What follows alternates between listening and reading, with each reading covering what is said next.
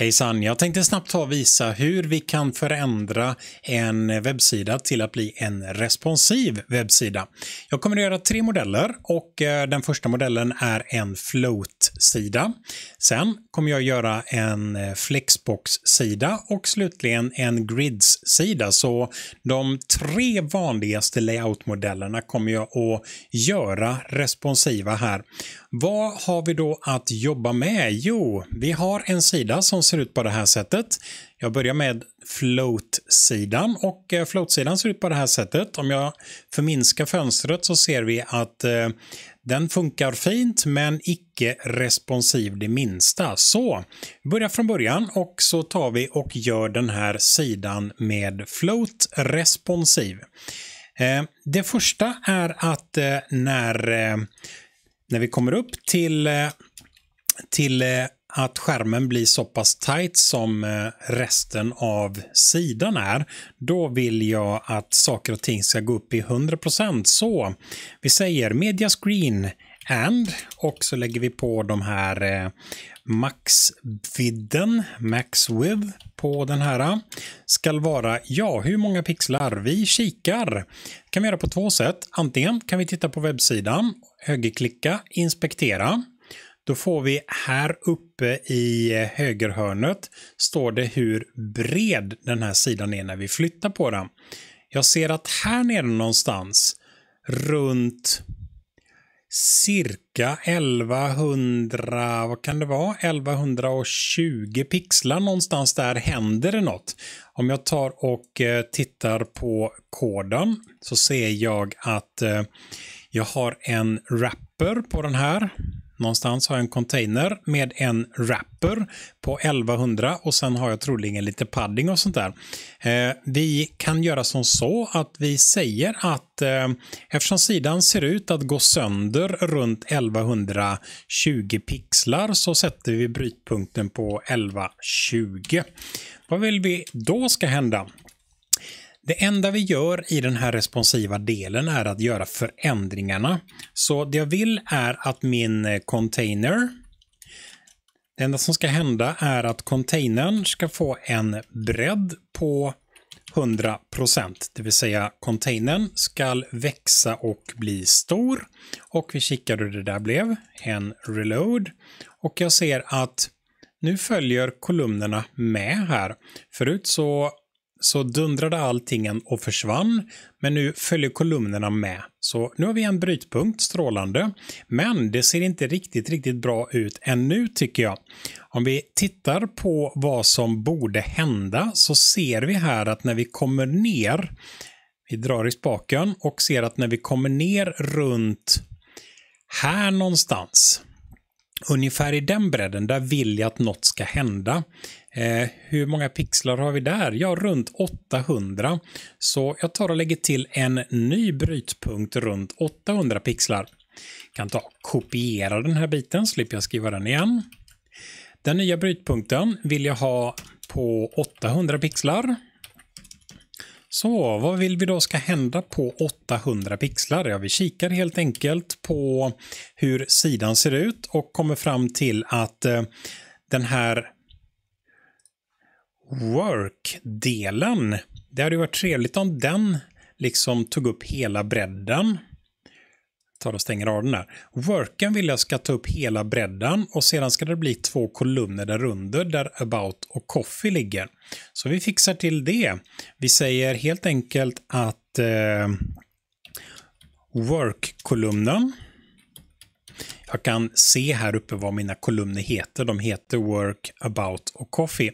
Jag ser att Work-kolumnen ska få en bredd på 100 och dessutom så vill jag att About-grejen och dessutom Coffee-grejen de ska få ta eh, vad heter det, halva ytan där, så jag sätter bredden på de där till 50% Save och eh, pröva det där. En reload och vi ser att första brytpunkten knackar in där. Och när jag kommer ner ett steg så har den andra brytpunkten hoppat till där också. Det här ser fine ut. tills jag kommer och skärmen blir väldigt liten. Det som händer då är att de här kolumnerna about och coffee blir lite smala. Så de får gärna ta upp hela bredden. Jag ser dessutom att menyn här uppe och headen börjar liksom krocka i varandra. Vilken brytpunkt kan det röra sig om? Vi kikar. Eh, nu ska vi se här. Någonstans här runt 600. Om vi kikar på wow. Om vi kikar på bredden där uppe så ser vi att någonstans runt 600 eh, kan det brytas. Så vi tar väl och eh, kopierar lite grann till. Det är mest för att eh, jag tycker det är jobbigt att skriva den här eh, första raden där uppe. Så vi lägger en brytpunkt på cirka 600. Vad vill jag ska hända då? Ja, framförallt uppe i menyn där. Den vill jag ju ändra lite grann på.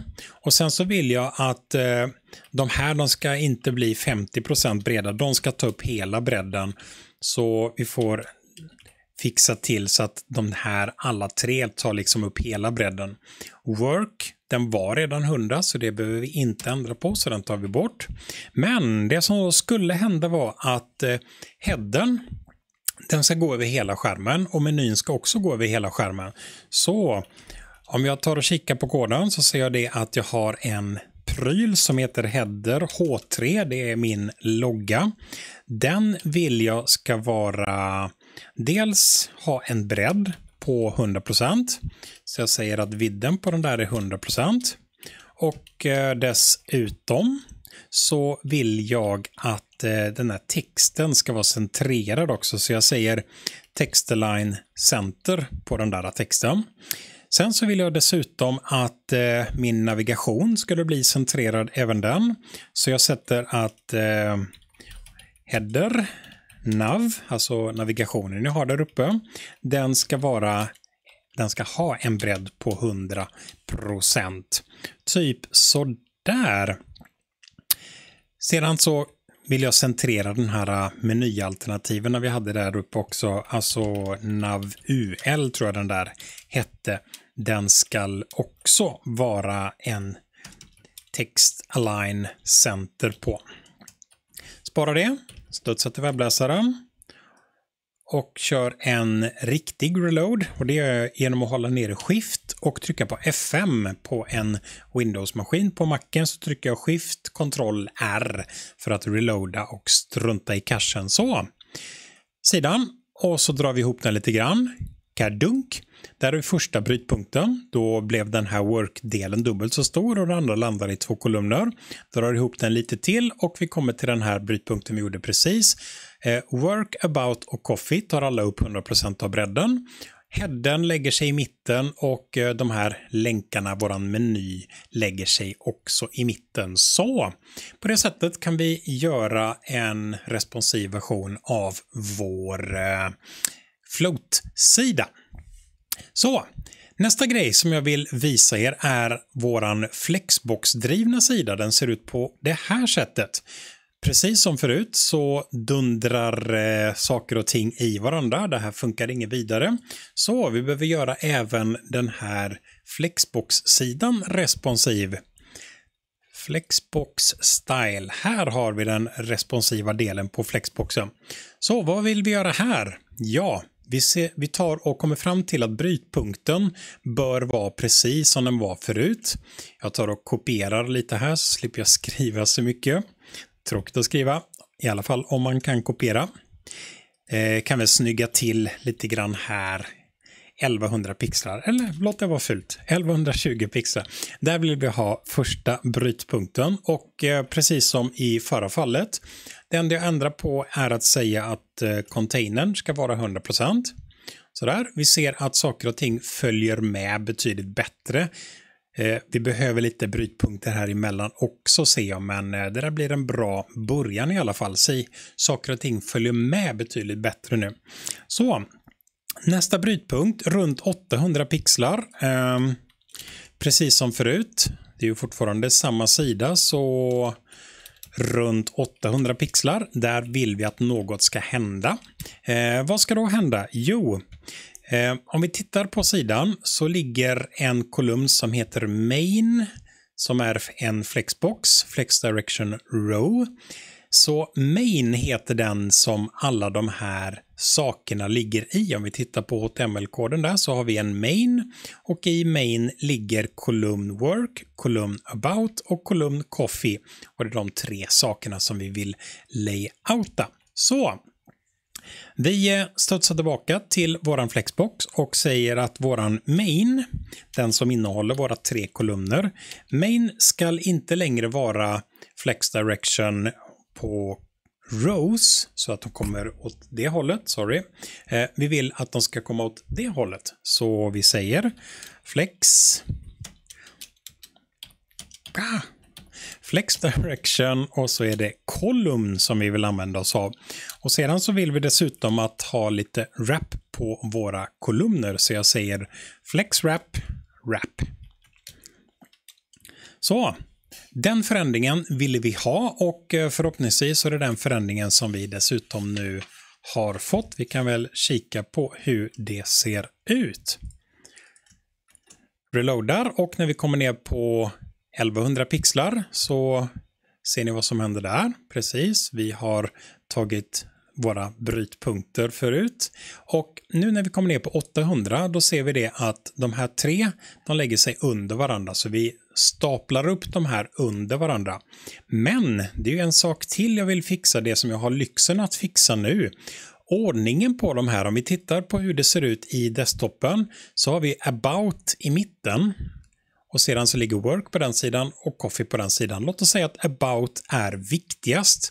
Då vill jag ju att den ska landa längst upp och i Flexbox så är det där en bit kaka att fixa.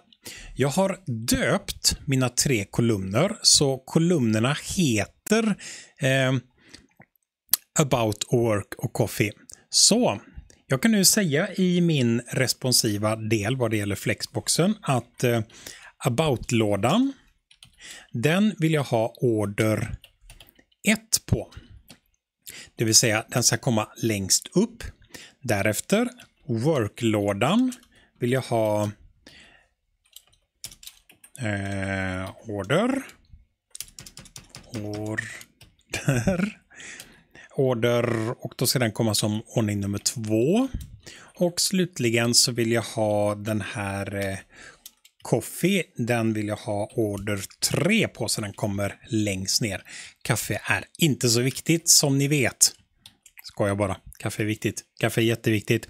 Så, vi tar och sparar och studsar till webbläsaren. En reload och nu ska vi se vad som händer när vi går ner här. About landar längst upp och sen kommer Work Order 2 och sen kommer Coffee Order 3, precis som vi skrev i vår CSS-fil där. Så vi tar och eh, sorterar om våra kolumner så att About kommer längst upp. Eh, som ni såg i Flexbox är det där en tämligen enkel grej att fixa till. Eh, slutligen så vill jag fixa till min meny för där krockade det lite grann så. Vi tar och lägger till responsiva regler för menyn också. Runt 600 pixlar ungefär såg det ut som om det bråkade till sig på och det jag vill göra är att säga att min header jag vill sätta lite förändringar för headen och förändringarna som jag vill ha är att jag vill ha en flex direction och direction på flexen ska inte vara row som det var förut utan ska vara kolumn som jag vill ha nu. Så flex direction kolumn och dessutom så vill jag centrera texten så jag säger eh, text align center save och kollar hur det där blev. Jag går ner och kommer till den minsta brytpunkten och då ser vi att headen la sig mycket riktigt i mitten och eh, våra meny kom under här. Så där. Jättefint, jättefint. Sista exemplet är våran grids-sida. Grids-sidan ser ut så här just nu. Exakt precis som de andra gjort tidigare och eh, den här tänkte jag vi skulle ta och responsiviteta till en aning också. Jag kopierar Flexbox-delen där för det vet jag att jag kommer att behöva. Så, responsiva grejen vad det gäller eh, grids. Precis som förut. Copy, sa jag. Copy på den. Och i den så pastar vi in det där.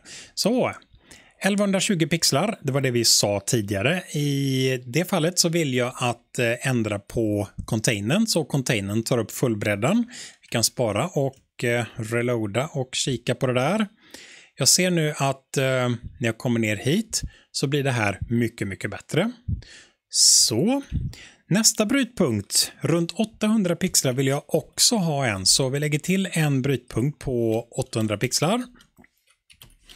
Vad vill jag då ska ändra på 800 pixlar? Jo, eh, dels så vill jag vill fixa lite grann med det här layouten, så jag vill ju använda mig av, eh, om vi tar och satsar hit, på samma sätt ungefär så vill jag ju att här ha, när jag kommer ner på 800 pixlar, typ, om vi kikar lite grann, någonstans här under. Här vill jag att about ska landa längst upp och ta upp hela bredden och sen vill jag ha två kolumner där under. Det där är mycket trevligt att fixa i grids. Så, det vi gör är att vi vill pillra på våran main. De här tre kolumnerna ligger ju inom main. Så det jag vill göra är att säga grid template columns, för det är kolumner jag vill greja nu. Då vill jag ha en del och en del. På det sättet gör jag två kolumner, en fraction och en fraction. Så hur vill jag då att det här ska se ut? Med, eh, med grids så kan jag helt enkelt namnge saker och ting. Jag säger att jag vill använda mig av olika areas och jag har namngivit mina areas sedan tidigare. Så, hur vill jag ha det här? Jo, jag vill ha två stycken kolumner och eh, about ska ta upp båda bredderna, alltså about about. Jag gör, jag gör nästa rad också så kommer det här att ge sig tror jag. Om jag lyckas skriva. Därefter så vill jag ha work och coffee. Vi ser om jag stavar rätt till coffee. Så tänk er att det här är Tänk er att vi börjar här och säger en fraction och en fraction, två kolumner. När jag säger grid template areas så säger jag att about ska ta upp den här och den där eh, raden. Och på nästa rad vill jag ha work och sedan coffee. Det här blir supertjusigt. Vi eh, tar och tittar på det där. Så blev det. Så när jag kommer ner på den här responsiva brytpunkten så lägger sig about över två kolumner och sedan så kommer det en kolumn med work och en kolumn med coffee. Layout med grids är mysigt. Så där, det var det jag ville ändra här. Sedan har vi den här sista brytpunkten för att snajsa till menyn en aning. Eh, 600 pixlar vill jag minnas att vi brukade sätta på den där. Och eh, vad vill jag då ändra? Jo, för main, där vill jag ju använda bara en kolumn, för nu vill jag att saker och ting ska landa efter varandra. Då vill jag att det ska landa först about-grejen och sedan på nästa rad ska det landa work-grejen och slutligen coffee-grejen. Kan spara och kika på det där. När vi går ner på nästa responsiva del så ser vi att about-grejen kommer där uppe. Work och coffee-grejen. Jättebra, fast jag vill snajsa till menyn för när det blir mindre så krockar menyn där i lite grann så. Menyn vill jag grejsa till också lite grann och eh, det är tämligen enkelt. Jag säger att i min header så vill jag använda mig av flex direction och eh, direction som jag vill använda mig på den är kolumn och jag vill ha text align center. Sparar och kikar på det där. Vi ser att headen la sig i mitten med menyn där under. I den här modellen, om vi kikar på hur stilmallen är för den här gridsen så har jag faktiskt kombinerat lite här. Eh, om vi går från början här så använder min container en flexbox. Headen har en flexbox och alla element har en flexbox. Bortsett från main, alltså den här delen som innehåller mina tre kolumner. Så den ytan här i mitten, den är grids. Den här uppe och där nere är flexboxar. Så just ytan i mitten är grids. Eh, därför att eh, i, eh, i det fallet så har jag tre prylar som jag vill snajsa till och då blir det så mycket lättare att ha det här i form av grids. Eh, som vi såg i Flexbox-fallet så kan du inte riktigt på samma sätt hantera tre prylar. Men som ni ser här, det är inte speciellt mycket kod som vi behöver skriva för att förvandla vår eh, icke-responsiva del till att bli en responsiv webbsida. Och eh, nu har jag gjort det för både float-varianten, flexbox-layouten och grids.